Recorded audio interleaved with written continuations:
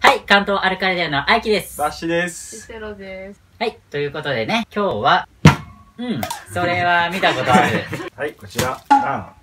はい。これを1分以内にどうやら食べきれないらしいので、食べきりたいと思います。おー。いけそうな気しかしないんですよ。おそういうもんなのかな？はい。いただきます。緊張してきた。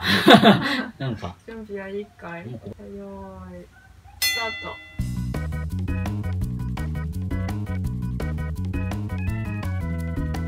うんわ。うん。ト。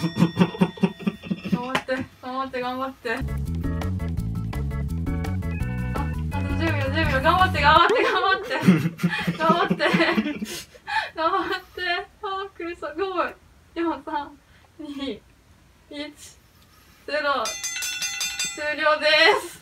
うん水だったらいけそう？無理だね。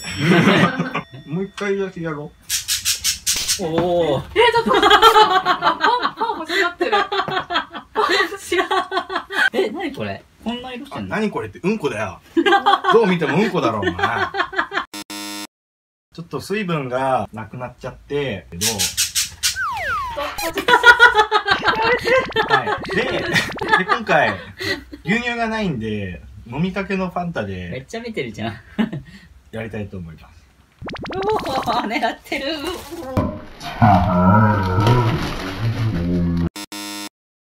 きます。はい。よーい、スタート。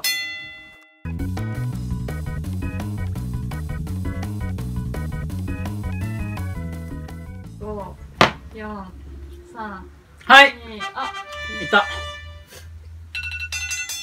し。開けて。ない。ごめん、あの、喉に突っかかってるけど、あちなみに、すごい。なんか、ファンタでやると、ちょっとジャム、ジャムつけて食ってんのかなっていう錯覚に陥る。ああ、そういう感じ？俺そうそう。ジャム嫌いだから。はい検証結果、まあ自分の場合ですけど、ファンタだったらいけた。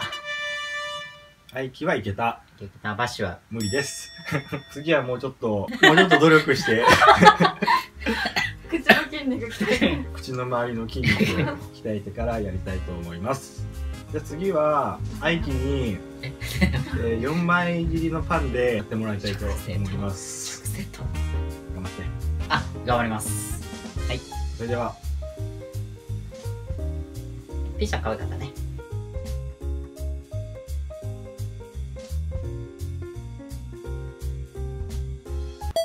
調整してるから硬い。